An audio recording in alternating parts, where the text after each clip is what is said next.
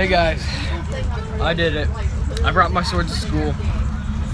The people at my school were like, well, why? Why'd you bring this? Some of them, you know, enjoyed it. You know, they wanted to hold my sword, uh, play with it. Uh, my history teacher was really cool about it. Uh, one of the kids said I was like two years old. the things I do for YouTube.